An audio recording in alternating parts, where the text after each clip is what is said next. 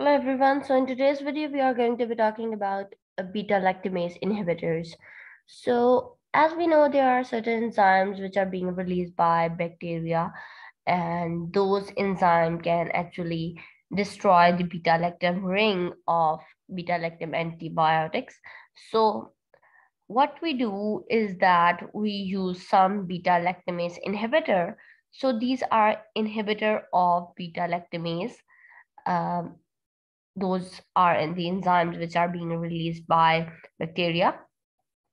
So we have different kind of beta lactamase inhibitors such as uh, clavulanic acid, sulbactam, and tazobactam. So these are traditional beta lactamase inhibitors, which actually resemble the beta lactam molecule, um, but they have a very weak antibacterial action. So they themselves don't have much of antibacterial properties, but they can act as beta lactamase inhibitor.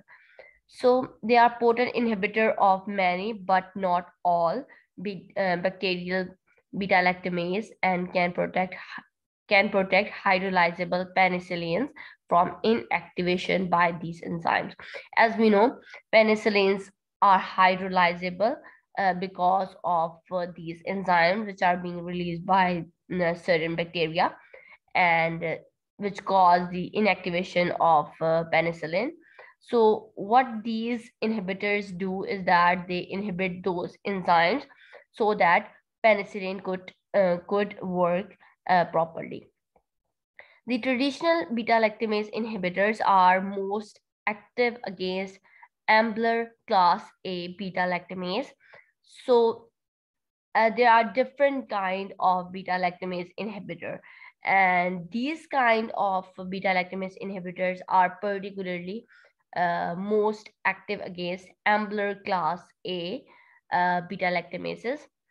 So these kind of beta lactamases are actually plasmid uh, encoded. That mean that these kind of uh, enzymes are being encoded through plasmids. As we know, plasmid um, is composed of genetic uh, genet has some genetic makeup and it can encode different kind of uh, um, enzymes and proteins.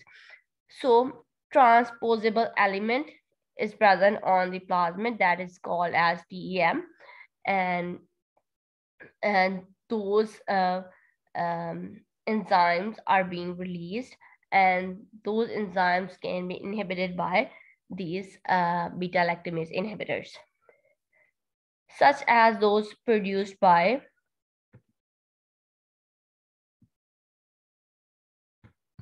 uh, Staphylococci, H. influenza, and gonorrhea, Salmonella, Shigella, E. coli, and K. pneumoniae. So all of these uh, uh, release uh, Ambler class A beta lactamases and those can be inhibited by uh, these uh, these beta lactamase inhibitors which are clavulanic acid or uh, sulbactam and tazobactam and over here we have their structures. Okay. They are not good inhibitors of class C beta lactamases so as we have talked about class A beta lactamases, now if we talk about class C beta lactamases, these traditional beta lactamase inhibitors are not very good inhibitors of class C beta lactamases, which typically are chromosome, uh, chromosomally uh, encoded and inducible. So class A uh, beta lactamases were plasmid encoded, but these are uh, are encoded through chromosomes and produced by Enterobacter species, Citrobacter species, Aspergillus and uh, Pin but they do not do inhibit chromosomal beta lactamase of uh, B uh, fragilis and M catarrhalis. So some beta lactamases, which are uh, released by uh, B. fragilis or M. catarrhalis are inhibited by uh, these uh, beta lactamase inhibitors, but others cannot be inhibited. Uh, okay, so if we talk about the novel uh, non-beta lactam beta lactamase inhibitor, that is avibactam. So now it is not uh, having a beta lactam in it. So it is non-beta lactam beta lactamase inhibitor. So what it means, it can inhibit the beta lactamase enzyme, but it itself does not have a beta lactam ring in it. As over here you can see, is it do not have a beta lactam ring. So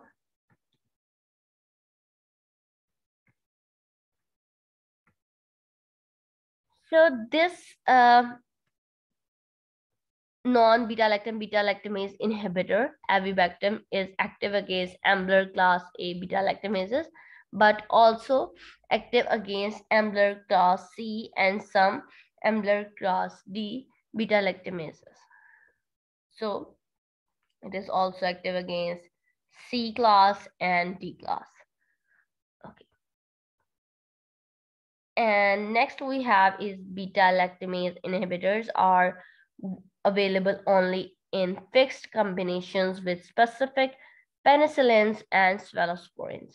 The fixed combination available in, in the USA are listed in the preparation available. An inhibitor extends the spectrum of its companion beta-lactam provided that the inactivity against a particular organism is due to the destruction of by a beta lactamase and that the inhibitor is active against the beta lactamase that is produced. Now, what he's saying is that we should always keep this in mind that whatever the combination we are making, so the uh, drug that we are making uh, the combination with uh, either it's a penicillin or some cephalosporin. So we should keep this in mind that uh, the uh, beta lactamase inhibitor should be active against the beta lactamase produced by the organism we are giving it for. Okay, if we are giving uh, beta lactamase inhibitor, but there is some uh, class C beta lactamase that not affected by that beta lactam mm, beta lactamase inhibitor. So there is no purpose for doing that. So we should make such combination that uh, the original drug that has a spectrum for killing uh, that microorganism is only affected by uh, the activity of beta lactamase, which is being produced by the organism. So what we do is that we give some kind of beta lactamase inhibitor so that the enzyme could be inhibited and the antibiotic could work properly. Thus, ampicillin sulbactam is active against beta lactamase producing S. Uh, aureus and H. influenza, but not against Serratia, which produce a beta lactamase that is not inhibited by sulbactam. Okay, over here we have an example of a combination where sulbactam is active against two uh, microbes, but not effective against the third uh, Serratia.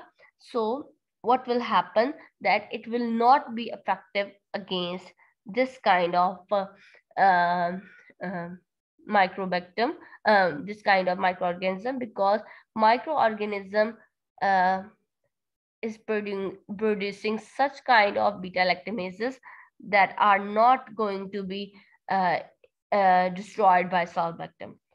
Similarly, if a strain of P. aeruginosa is resistant to piperacillin, it is also resistant to piperacillin tazobacter tazobactam because tazobactam does not inhibit the microsomal beta lactamase produced by P. aeruginosa. So, as we know, tazobactam cannot be effective against uh, my uh, chromosomal encoded uh, beta lactamases. Over here, we have discussed that it is not effective against such uh, beta lactamases, which are actually class C. Okay, so